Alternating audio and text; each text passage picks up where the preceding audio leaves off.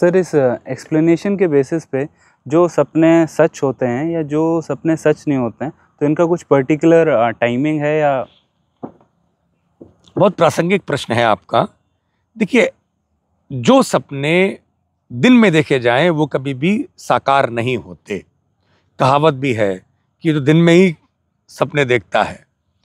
दिवा स्वप्नम विस्मृति।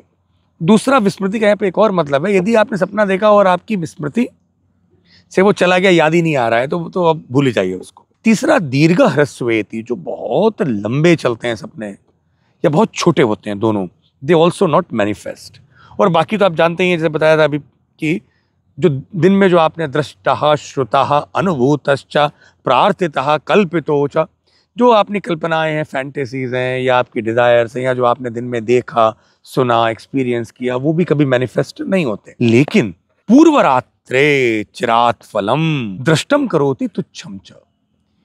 देखिए, सपने दो ही समय पे दिखते हैं, या तो पूर्व रात्र में या अपर रात्र में मतलब भोर में सुबह। जो सपने पहली रात्रि में दिखते हैं। देखिए, उस समय पर उन्होंने आजकल ये बोलते हैं आर ई एम और N R E M rotatory eyeball movement या नॉन रोटेटरी तो जब बच्चा, कोई व्यक्ति, इंसान डीप स्लीप में चला जाता है और उसकी आप आईबॉल देखते हैं तो वो फिक्स होती है। तो दैट इज़ अ स्टेज उसमें तुरी अवस्था में है, कोई सपना नहीं चल रहा है।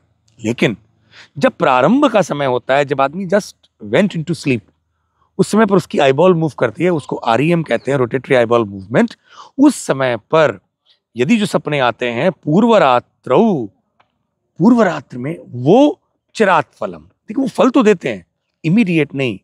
वो एक साल बाद, छह महीने के बाद में दे कैन मैनिफेस्ट लेकिन तुच्छम वो बहुत इम्पैक्ट नहीं करते हल्का सा उनका रिज़ल्ट होता है मतलब वो आपकी छः महीने या एक साल बाद में क्या घटना घटने वाली है, उसकी सूचना देते हैं। लेकिन वो सपने जो गो सर्गे मतलब ब्राह्मण मुहूर्त को गो सर्ग कहा गया है।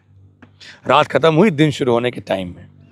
उस समय पर जो सपने आते हैं, वो भी कहते हैं कि निद्रया, यदि वो एकदम आप निद्रा से जग जाओ, वो सपना ज़रूर साकार होता है।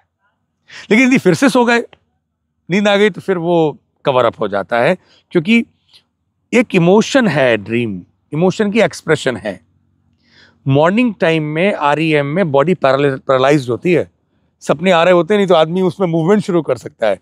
बहुत धीरे धीरे बाहर आता है स्लीप से, इसीलिए। तो वो जो स्टेट है मॉर्निंग की, उस समय के जो सपने हैं, उनमें कभी भी अनुअपहत होने चाहिए वो। अनु अपहत मतलब है, कोई डिस्टर्ब ना कर दे। लोग कहते हैं, अरे, तुमने मेरे सपने खराब कर दिया सपने आ रहे थे, इतने अच्छे तुमने जगा दिया मुझे।